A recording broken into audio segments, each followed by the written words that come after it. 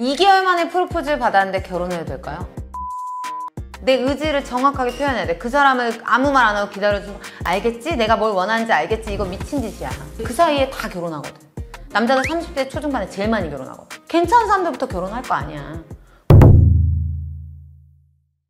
오늘은 저희 매덕님들이 보통 30대가 많으시잖아요. 그래서 저희 30대 매덕님들의 고민, 연애 고민을 좀 해주는 시간을 가지려고 합니다. 첫 번째는 5년간 만난 남자친구가 결혼 이야기를 안 해요. 혼자만 결혼을 생각할 때 기다려주는 것이 현명한 여자친구일까요? 이렇게 질문 남겨주셨어요.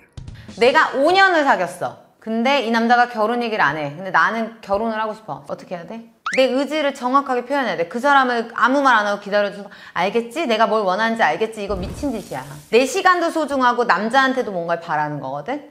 내가 후회 없게 내 의지를 밝혀야 돼. 결혼하자가 아니라 나는 오빠랑 5년 사귀니까 너무 좋았어. 이 시간 소중했고 앞으로도 영원히 함께 하고 싶다.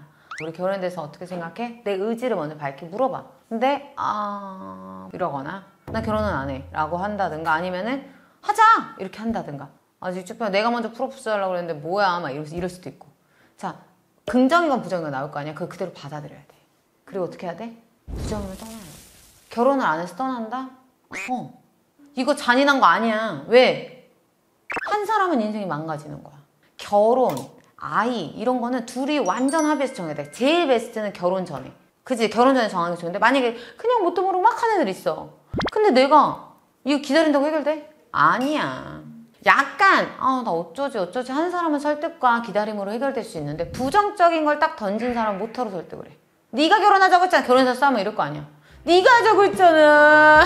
나한테 그 너무 최악 아니니? 결혼은 각자의 의지야. 그렇기 때문에 이런 경우는 내 의사를 안 밝힌 것 같아. 그리고 많은 남자들이 하는 핑계 중에 하나. 아 나 너무 결혼하고 싶지. 근데 아직 마음에 확신이 없어 아직 아니면 내가 책임감 때문에 불안해 야 5년이나 지났는데 내가 뭐 6개월, 1년 이래버리면 뭐 사람은 속도가 다르니까 이랬어. 그것도 솔직히 난 이해 안 돼. 내가 만났던 남자들의 증언에 의하면 아니야. 남자는 금방 알아. 근데 이 여자를 5년이나 지났는데 아직도 확신이 없고 뭐하고 하면은 그냥 평생 이 여자한테 확신이 없을 거야. 그런 말에 속지 마.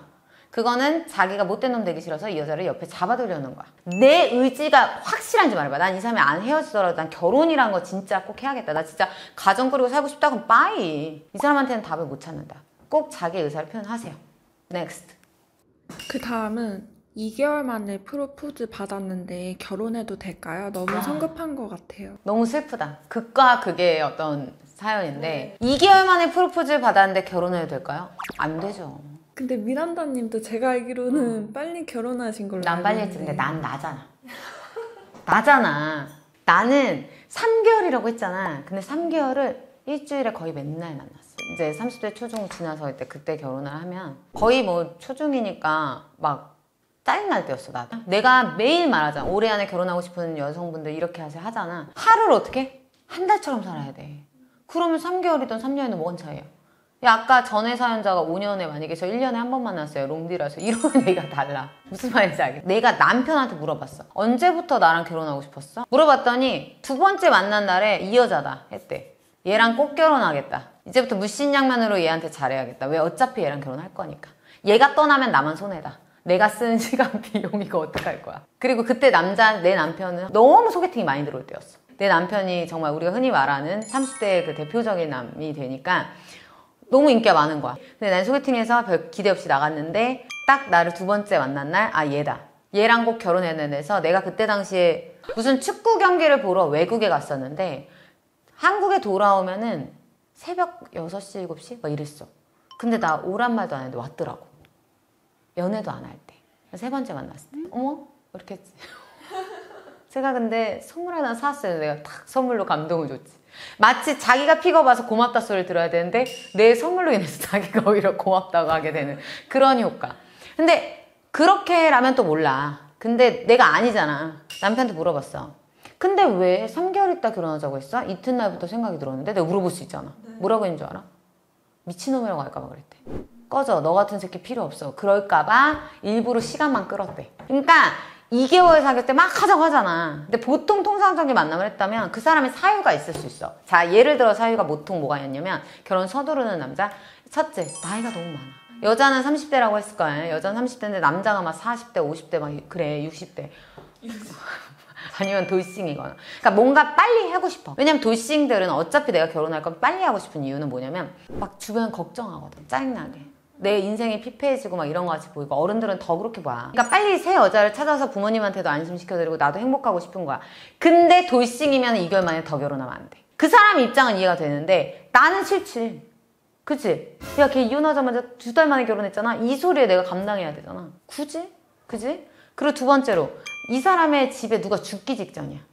아프셔가지고 편찮으셔가지고 이런 거 있으면 부모님 살아계신 때 내가 사랑하는 여자 보여줄게. 이런 거로 좋은 의도인데 그런 거는 상황 봐서 남은 한 달 두 달 정도 끌어서 미친 듯이 하루에 한 번씩 만나. 그런 다음에 하는 거 추천. 그 사람이 괜찮다면. 그리고 세 번째는 뭔가 사기꾼스러운 거야. 뭔가 미친 듯한 약점이 있는 거야. 그걸 숨기고 빨리 결혼하려는 거야 그런 것도 있기 때문에 너무 서두르는 거야. 왜냐면 이 사람 인생에서도 되게 중요한 결정이거든. 그런 거는 뭔가 요즘 사기꾼도 많고 막 하잖아. 의심을 좀 해봐야 돼. 2개월을 만나서 결혼하자고 그랬는데 이 여자가 최대한 6개월까지 끈다고 해서 헤어질 남자면 빠이. 내가 5년 끌라는 거 아니잖아. 그치? 밀어. 아직은 아닌 것 같아. 빵. 아니 하자 하자. 미친놈이지. 변태. 이거를 최대한 상도덕적으로 그냥 통상적으로 6개월 끄면서 본인들이 아까 내가 체크해야 될 것들을 다 알아봐. 어쨌건 이 사연을 보냈다는 거는 남자친구가 좋은 마음은 있는데 이 시기가 괜찮은 거냐? 요걸 묻는 것 같아. 그래서 그렇게만 보면 될 것 같아. 그러면 미란다님이 생각하기에 결혼을 하기에 딱 적당한 적당하기라고 좀 그렇지만 좀 통상적인 통상적으로. 어, 기간이 있다면 너무 천차만별인 것 같아. 사실은 내가 지금 주변에 잘 사는 이제 커플들을 생각을 해봤다. 그랬더니 정말 뭐 정말 우리처럼 3개월. 근데 우리는 결혼 준비 기간에 있었고 그냥 딱 프로포즈를 해갖고 100일에 했다는 거지. 근데 이제 짧게 6개월 만에 한 사람도 있고 아니면은 1년, 2년도 있고 아니면은 10년 연애해서 첫 사람을 결혼하는 경우도 있는데 중요한 건 언제 만났냐 같아. 내가 20살에 만났어? 아무리 미친 애들 아니고는 상황이 결혼은 아니야. 근데 내가 30대잖아. 우리 지금 30대 고민이라면. 30대에 만났는데 외국에 있는 이제 뭐 롱디 이런 거 제외한 이상 아니면 무슨 큰 시험을 앞뒀다는 이런 거 제외한 이상 아니면은 형제 중에 누가 결혼을 앞뒀다는 거 이러면 좀 delay 되거든. 같이 결혼 안 하니까. 그런 거 이상 결혼식까지 2, 3년이 걸린다? 그러면 나는 솔직히 비추. 근데 보통 대부분 금전적인 이유를 많이 대는데 결혼해도 가난하고 결혼 안 해도 가난해. 오히려 결혼 안 한 사람들이 아 나 이것까지 준비하고 결혼할래. 근데 같이 여자가 요구하지 말고 으쌰으쌰 하겠다. 오빠 나 상관없어. 그런 조건 상관없어. 했는데도 계속 아니야 나 이거 하겠다. 걔 아집이야. 결혼하면은 돈을 더 절약할 수 있어. 같이 합쳐지니까 경제 공동체가 되니까. 그래서 그거고 뭐고 다 핑계 필요 없어. 2년이 넘는다? 근데 30대 중반 이후야. 1년, 1년. 구체적인 얘기는 1년 안에 다 나와야 된다고 봐, 나는. 결혼식장이나 뭐 이런 것 때문에 예약해서 좀 늦어질 수 있지. 근데 구체적인 얘기가 1년 때는 시작돼야 된다고 보거든. 그래서 그거를 알고 있어, 남자들도. 그러고 여자들도 대부분 그걸 원하고. 근데 남자들도 알고 있기 때문에 30대 여자가 연애하는 걸 굉장히 고민을 해. 왜? 이 여자는 연애 좀 하면 결혼을 생각할 수 있기 때문에. 근데 반대로 정상적인 가정을 꾸리고 결혼하고 싶어 하는 남자들은 그래서 선호하기도 해. 왜? 20대 애들은 생각 없을 것 같다라는 편견이 있어. 그것도 아니거든. 요즘 20대 야무져. 근데 20대는 아직 놀기 좋아하고 결혼이라는 생각은 좀 거리가 멀 거라 생각해서 결혼은 안 할 거라는 생각 때문에 정말 결혼하고 싶은 남자들은 30대 초반을 많이 선호해. 이거는 20, 30대 다 고민할 것 같은데 헤어진 남자친구 또는 여자친구와 재회하고 싶은데 어떻게 하면 좋을까요? 헤어진 남자친구와는 재회하지 마. 재회를 하면 모든 사람들이 알고 있는 머릿속에 편견이 있어. 재회는 망한다. 그게 계속 떠올라. 분명히 연애를 하면 처음 연애는 알아가는 과정이 있기 때문에 서로 갈등하면서 그걸 극복하면서 사랑이 되는 건데 재회를 하게 되면 서로 익숙하잖아. 익숙해서 처음엔 너무 좋아. 불부터. 역시 얘다. 이러다가 나중에 어떤 갈등 포인트가 나면 내가 이래서 재회는 아닌가 보다. 이게 계속 회고되는 거야. 그러니까 어떤 갈등을 극복을 못해서 헤어진 거잖아. 이별을 했는데 재회를 했어. 우리가 순간적인 감정을 재회를 했어. 근데 그 극복 상황이 극복이 안 된 거잖아. 여전히. 예를 들면 내 친구가 결혼을 준비하다가 양가 갈등으로 헤어졌거든? 근데 남자친구를 만났어. 근데 얘네 둘이 우연히 만났는데 다시 사랑이 불붙은 거야. 그날 잤대. 마음이 너무 통해가지고. 근데 얘네들은 결혼 직전까지 갔었거든? 그래서 내가 물어봤어. 얘네 이별 사유는 뭐야? 양가 갈등과 이 결혼의 준비 과정에서 찢어짐이지. 그래서 그건 해결됐어? 뭐 어떻게 하기로 한 거야? 왜냐면 내가 생각했을 때는 얘네가 제외하면 바로 결혼해야 될 거 아니야. 그치? 그 뜻이잖아. 근데 뭐라고 했냐면 아니 그 얘기 하고 싶지 않아. 서로 일단 얘기하지 말자. 그러고 지금만 생각하기로 했어. 그 미친 짓이야. 굉장히 영화 같지만 극복을 안 하고 묻어놨다가 시간 끌겠다는 거야. 얘 나에게 어떡할 거야? 그러니까 이게 문제라고. 그러니까 이 봉합을 시켜야 되거나 어떻게 갈등을 해결해야 되는데 해결이 안 됐기 때문에 이별을 한 거거든. 근데 일단 불붙는 그 감성적인 마음으로 다시 붙겠다 그럼 또 이거는 번지지. 시간만 끄는 거야. 처음엔 너무 좋지. 오케이? 우연히 제외할 상황이거나 학교나 뭐 이런 데서 직장에서 만날 상황이면 내가 예전에 영상에서도 있는 것 같은데 무조건 자기가 예뻐져야 돼. 업그레이드. 겁나 괜찮고 걔가 만약에 얼굴이 진짜 못생겨서 얼굴이 진짜 잘생기면 걔가 진짜 돈이 없어서 돈이 진짜 많은 사람. 아니면 걔가 뭐 성격이 잘 맞으면 성격을 보여줄 수가 없잖아. 그런 겉에서 보여줄 수 있는 걸로 걔를 기를 죽일 것 같아 그리고 만약에 내가 내가 미친 애라서 내가 차였을 수도 있잖아 그럼 그냥 속 조용히 살아. 어차피 그 남자 기억 속에 난 미친 애야. 근데 미친 애가 또 연락을 해. 어, 쟤 진짜 미쳤다. 그러면서 이제 사람들 보여주고, 야, 얘야. 너네 혹시라도 우연히 만나면 그 미친 애 피해라. 이럴 거야. 그러니까 내가 잘못을 했던, 내가 잘못을 안 했던 간에 나는 이뻐지고 업그레이드 되는 방법밖에 없어. 그리고 그 사람한테 최대한 연락을 안 하면 그 사람이 반해가지고 연락을 오더. 아니면은 내가 우연히 가서 보던 간에 이 사람한테 내가 당당할 수 있고 두 번째로 이사 내가 미친 짓을 했을 경우는 이 사람이 나한테 사람들한테까지 소문날 경우는 막을 수 있다. 비추. 오케이. 다음은 30대 중반 여자인데 남자 만나기 힘들고 점점 더 눈만 높아지는 것 같아요. 제가 남자를 만날 수 있을까요? 라는 고민이에요. 못 만나. 야, 30대 중반이고 20대 중반이고 이게 중요한 게 아니야. 계속 눈만 높아진대잖아. 그러니까 내가 조건 하나 보던 애가 두 개 보고 세 개 보고 이제는 이 사람이 어 세 개 봤는데 걸음걸이가 좀 특이하네. 어, 좀 반맛 떨어지네. 거기다 내가 최근에 또 그 얘기도 들었어. 남자 너무 괜찮은데 스티커 사진에 미쳐있대. 이제 그런 것도 보이는 거야. 우리가 스티커 사진 이런 거 생각해? 안 하지. 근데 스티커 사진에 중독자더라고. 내가 확인해 보니까. 나 같아도 싫을 것 같은데 이제 그것까지 추가되는 거야. 이 사람은 스티커 사진을 좋아하는지 안 좋아. 조건이 계속 봐. 왜? 나이가 들수록 많이 만나는 사람들을 만나니까 내가 볼 수 있는 조건들이 많은 거야. 아, 헉, 이런 사람 또 안 되겠다. 와, 저렇게 하는 거 저런 사람, 아우, 음식 먹을 때 쩝쩝, 아우! 이렇게, 아우, 피부, 아우! 이렇게 되는 거야. 눈만 높아져. 높아지지. 그러니까 어른들이 못 모를 때 결혼해야 된다. 이 말이 나온 거야. 뭘 너무 아니까 미치겠는 거야. 그래서 못 한다는 거야. 눈이 계속 높아지면 내 눈을 틀어막아야 돼. 그리고 나 혼자 집에서 외고수처럼 이렇게 있어야 돼. 왜냐면 세상 사람들을 평가하게 돼 있거든, 모두가. 우리도 낯설 보면서, 어우, 쟤 미쳤나 봐, 미쳤나, 어우, 쟤 어떻게, 어떻게, 별의별 거 다 있잖아. 그러면 애들이 뭐라 하는 줄 알아? 낯설어서 마음에 드는 사람 하나도 없어. 이렇게 말해. 근데 현실에선 정작 안 그럴까? 그 사람들 누구보다 현실을 대변하는 사람들이야. 그렇기 때문에 나는 이게 눈이 계속 높아지는 이 현상을 틀어막으려면 눈을 복념해야 된다고 생각을 해. 왜냐면 너무 많이 알면 문제야. 그래서 오히려 사람들이 선호하잖아. 남자나 여자나 연애 경험 적은 사람. 왜 그런 줄 알겠어? 비교 대상이 적잖아. 근데 너무 많은 경험을 하니까 막 하는 거야. 두 가지야. 너무 많은 경험을 한 사람의 좋은 점은 뭐냐면 극과 극이거든. 좋은 점. 현실을 알아. 어. 어떤 스타일 정확히 내 스타일이고 이거 어떻게 하면은 이런 사람 못 만나겠다. 이걸 아는 사람이 있거나 아니면 터무니없게 눈만 높아지는 거야. 잘 들어야 돼. 그런 30대 중반에 고민 진짜 너무 이해돼. 내 주변 애들 다 고민해. 나 결혼 어떻게? 해? 어떻게? 네가 시켜줘! 막 이러면서 나는 이러거든. 정신 차려 이래. 내가 너 작년에 걔 놓치지 말라고 했지. 재작년에 걔 내가 얘기했던 거 기억나지? 지금 애들이 나를 거의 점쟁이처럼 알아. 나는 진짜 다 보이거든. 너 얘야. 걔 하지만 아 걔는 근데 너무 이성적인 매력이 없어 막 이래. 남자 하나가 죽도록 좋다고 했었어. 너 걔 이상 없어. 무조건 걔 잡아야 돼. 야 그렇게 너 좋다고 하는 사람 어디 있어? 그리고 너무 괜찮았거든. 33살에 그날이 치더니 지금 걔를 후회하고 있어.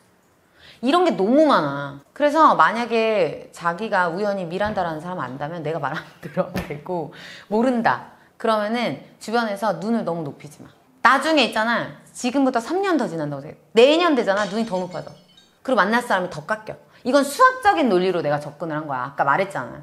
이게 뭐냐면 30살에 만날 수 있는 사람이 이만큼이야. 100명. 근데 33살 만날 수 있는 사람은 70명. 35살 만날 수 있는 사람은 30명. 왜 그 사이에 다 결혼하거든. 남자들 30대 초중반에 제일 많이 결혼하거든. 괜찮은 사람들부터 결혼할 거 아니야. 그러니까 저 더 적어져. 그 중에 내 조건은 더 추가가 됐어. 먹을 때 쩝쩝 안 거리는 사람 추가. 그지? 그리고 앉을 때 뭐 개거스럽게 안 하는 사람, 쩍벌 안 하는 사람, 근데 스티커 사진 안 좋아하는 사람 막 추가가 돼. 그러면 더 적은 거야. 그러니까 만나기가 너무 바늘구멍이겠지.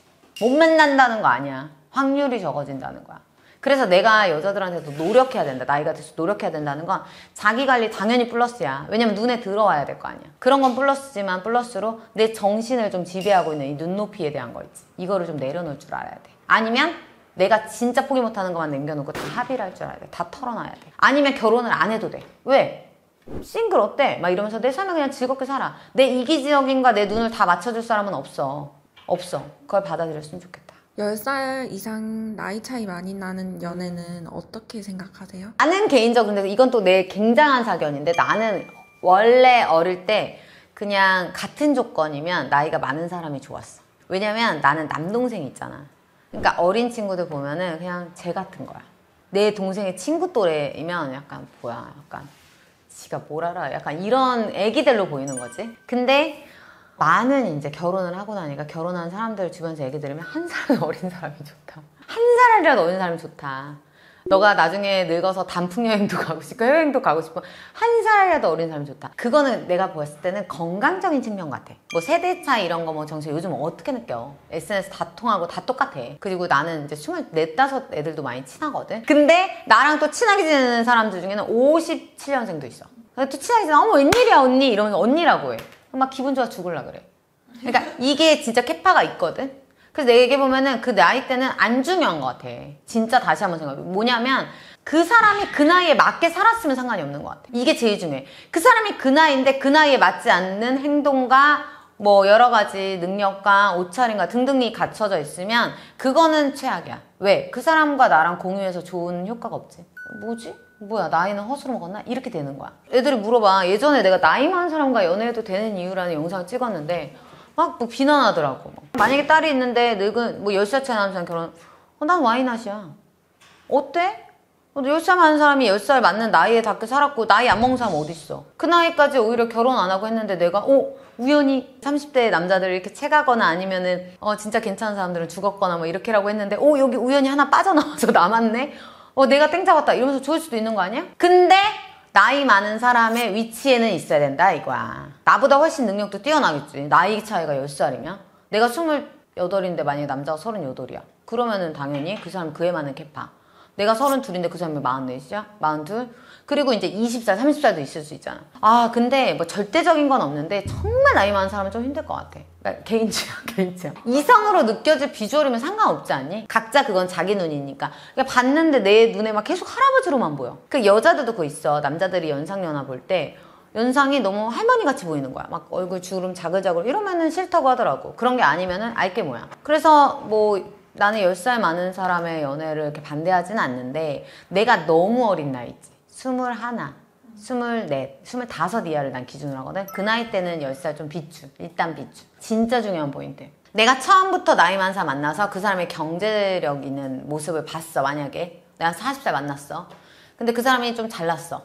그리고 뭐 차도 좋은 거 타고 다니고 이래. 그러면은 이 애는 그 기준을 잃어버려. 30대에 만났으면 대부분의 30대는 그 판단을 할 수 있거든. 저 사람은 저래서 그랬던 거야 라는 판단이 되는데 얘는 이게 전부인 거야. 너무 어린 나이라. 그래서 어린 친구들은 동, 동료들을 만나는 걸 정말 추천해. 처음부터 너무 진한 깊이를 만나버리면 이제 그걸 안 타고 만약에 걸어댕긴 애들은 진짜 무능해 보이는 거야. 그건 정말 실수야. 그렇기 때문에 그들은 예외라는 걸 꼭 얘기해 주고 싶어.